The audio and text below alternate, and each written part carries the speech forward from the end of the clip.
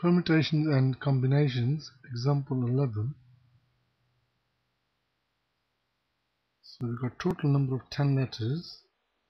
Five of them are vowels and five of them are consonants. So if you're going to alternate, so we start with vowel, then we start consonant. This arrangement.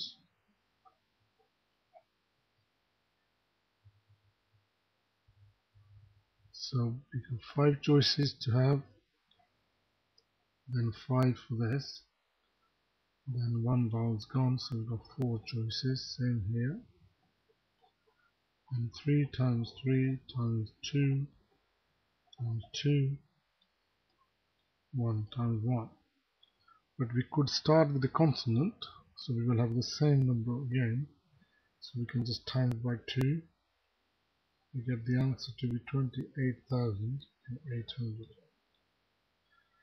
Then, to find the probability of this happening,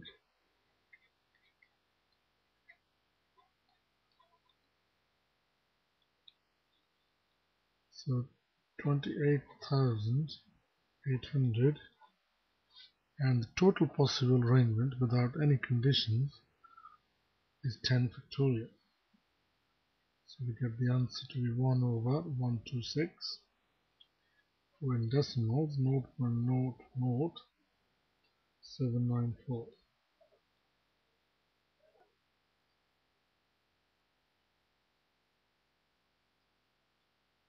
Now let's do example 12.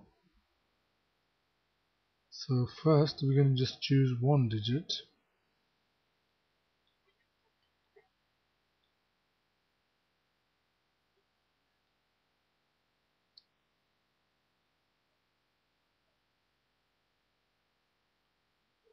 so there's only one position to fill in.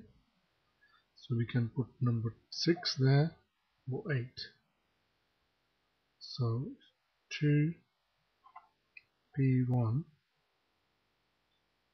so the answer is 2 if we choose two digits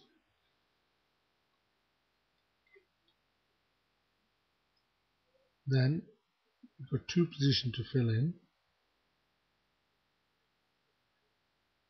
The two choices for this one, so that's 2 P1. But then here, to fill this place, we got four letters available. So we got 4, then we're choosing 1.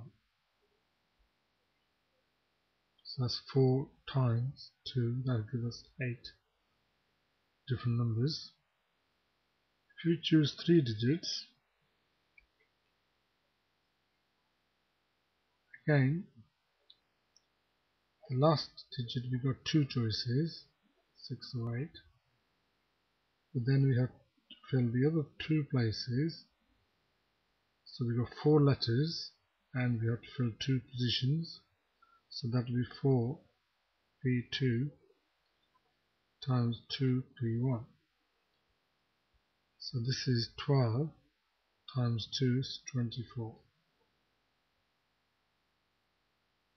If we choose 4 digits,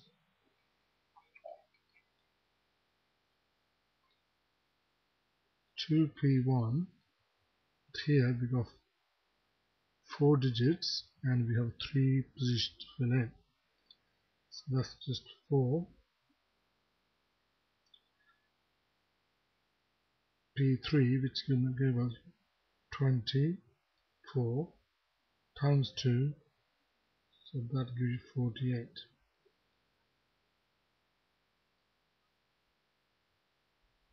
if you choose 5 digits same here 2p1 but now we got 4 digits and 4 places to fill in so it's 4p4 which is also 24 times 2 that's 48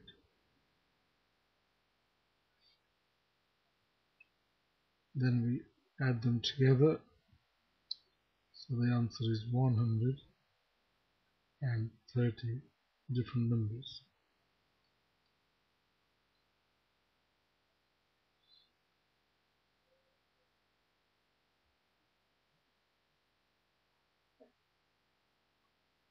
Example 13,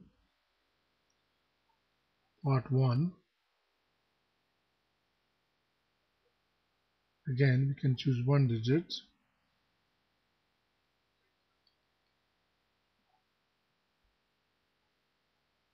So this is 4P1. So the answer is 4. If you choose two digits, 4p2 it's 12 three digits. 4p3 is 24 four digits. 4p4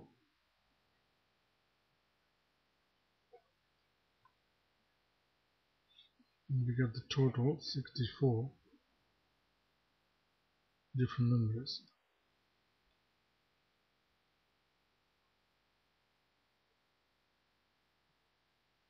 Part B or part 2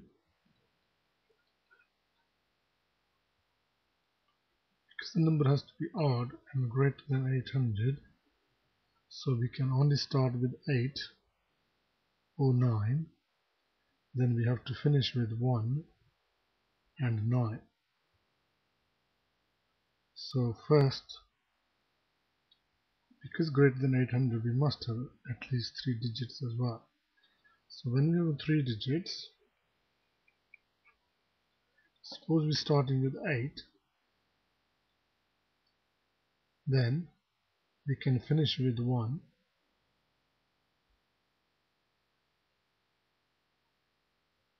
then we have two choices to put it here. So this could be 9 or 4.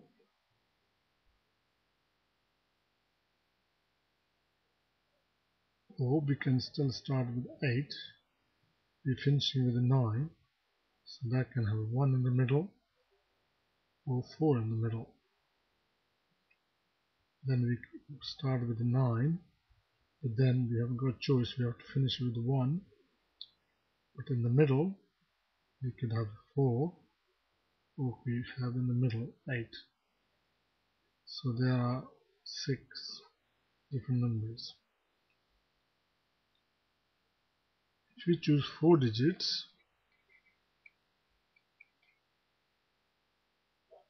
all of them are going to be greater than 800 so it's 4 factorial or 4p 4 but then half of them are going to be even half of them are going to be odd ones so you divide by 2 so that gives you 12 so the total answer here is 18